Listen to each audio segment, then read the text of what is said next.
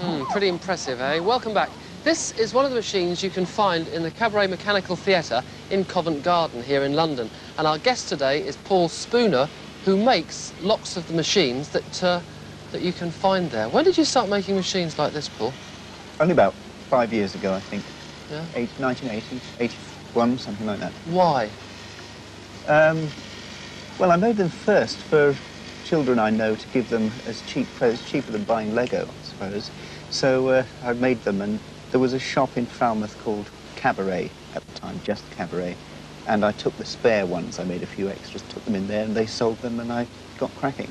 Uh, they really are absolutely remarkable. I mean, how did you... Uh, let me just show everyone this one.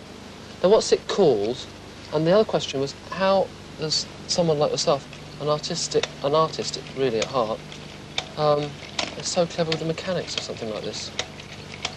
Well, I was a mechanical sculptor when I was a sculptor. I made machines anyway. My dad's an engineer, and uh, I like playing with such things. So Nothing to stop you being a me- mechanical sculptor. It's not a necessary part of sculpture if it doesn't move. So how's this working? I, I can see the little fly. Perhaps you can just talk us through it.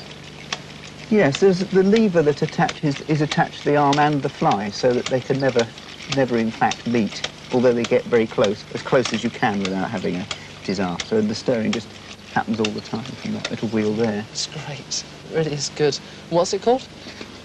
I forgot what I call it now. It's just a, it's a jackal in a cafe. Yeah, Anubis, coffee. Lord of the mummy, mummy wrappings, really. He's an Egyptian god. It's Killing that fly. long story. There's another one here. Now, what's this one called? This is called a cat drinking someone else's milk.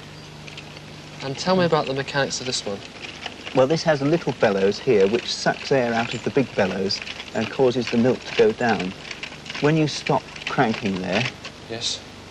the big bellows will re-inflate because it leaks a bit and the milk comes up to the top and you Mm. can start again. How long does it take to make something like this? Well, it's very difficult to say, but I would think that actually from the from your plans, once you've done all the drawings and fiddling around, it'd probably take about 10 days to do that flat out. And how much would it cost? It costs about 700 pounds, Really? I fear. Yes. Yes, I couldn't afford that with my pocket money. But there is something that I might be able to afford in the future in the way of your new book. And perhaps Yes. you could explain what this goat here is about. Let me just... Well, this Show is this is chapter one of the book, which has seven chapters in it. And this is just about as simple as you can get. It's a goat chewing in the characteristic way of goats.